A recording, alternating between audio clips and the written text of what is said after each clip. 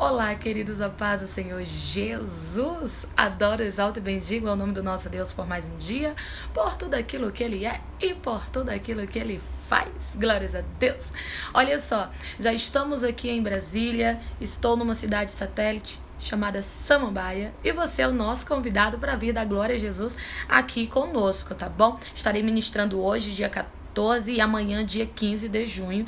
E você é o nosso convidado a vir da Glória Jesus. A entrada é gratuita, então traz os amigos, traz a família, traz todo mundo para se alegrar na presença de Deus juntamente conosco. Tô te esperando aqui. E eu quero aproveitar este momento para trazer uma palavra da parte de Deus para o teu coração. Quero ser breve, mas quero trazer algo da parte dos céus para a tua vida. Entenda só uma coisa. Os planos de Deus são melhores do que os seus. Às vezes, nós fazemos os nossos próprios planos, os nossos próprios projetos, e quando a coisa não acontece, a gente se entristece. Quando a porta que a gente esperou não abre, o nosso coração parece que chora. Quando, quando aquilo que a gente tanto, tanto esperou não chega, parece que a gente fica mais do que frustrado. Mas papai ele manda falar para você nesta hora que aquilo que não saiu do jeito que você queria é porque ele tem preparado surpresa para você. Aquieta o teu coração, sabe por quê? Porque daqui pouquinho vai faltar palavras para agradecer. Daqui a pouquinho você vai dizer: Deus, obrigada por não ter feito do meu jeito e também não ter feito do meu, no meu tempo, porque tu está no controle de todas as coisas. Em nome do Senhor Jesus, eu quero profetizar sobre você. Se você crer, vai recebendo e tomando posse aí do outro lado. A porta que você queria que não abriu, vai ter que dar espaço para uma porta muito maior, porque o plano de Deus é melhor do que o seu.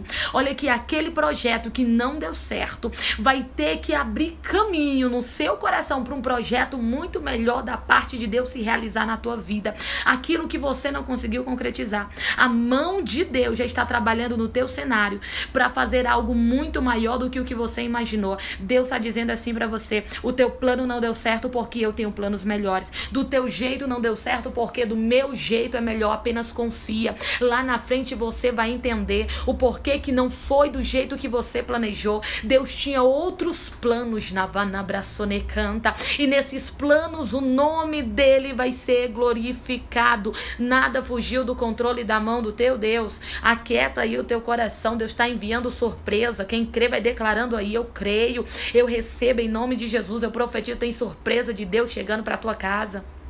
Tem surpresa de Deus chegando para tua vida, tem surpresa de Deus chegando aí neste lugar. Se você crê e toma posse desta palavra, se você recebe com muita fé, confirma aí nos comentários com o teu amém. Deixa eu fazer uma oração pela tua vida, amém? Deixa eu orar por você nesta hora. E olha só, se não se inscreveu lá no canal do YouTube, vai lá, YouTube Natália Leandro se inscreve, tá? Tô te esperando lá. Faz isso agora para não esquecer. Saindo daqui, corre para lá. Vamos orar em nome de Jesus? Oremos. Senhor, meu Deus e meu Pai, estamos aqui na tua presença para te adorar, glorificar, bendizer e enaltecer o teu santo nome. Senhor, eu quero apresentar cada um que aqui está nessa hora. Deus que talvez estava com o coração aflito, coração apertado, bem pequenininho, porque um plano não deu certo, ou uma porta se fechou, ou um projeto não se concretizou, e talvez essa pessoa estava aí se perguntando onde que ela errou, por que que não aconteceu, e o Senhor vem com todo o amor e toda a misericórdia dizer: Eu tenho coisa melhor, eu tenho plano melhor, eu tenho tempos melhores, eu tenho dias melhores, e você vai ser surpreendido por um grande agir. Eu creio, meu Deus, que grandes coisas estão por vir sobre a vida desta pessoa. Eu creio que um novo tempo está para chegar sobre ela. Eu creio que uma porta excelente está para se abrir para glorificar o teu nome. Eu creio que uma grande restauração e restituição vai chegar nessa história, porque o Senhor é fiel. Toma, Senhor, cada um nas tuas mãos, faz aqui o teu querer, a tua vontade, abençoa poderosamente. Apresenta esse coração ansioso e te peço da paz, da tranquilidade. Senhor, faz com que esta pessoa venha descansar em ti, na Vadabraçone canta Faz com que ela venha entender que algo melhor está chegando na palma da sua mão e é presente teu para a vida dela, é presente teu para a vida dele. Recebe, toma posse em nome de Jesus. Se você crê, confirma aí nos comentários com o teu amém. Amém, queridos. Que papai do céu abençoe poderosamente, ó.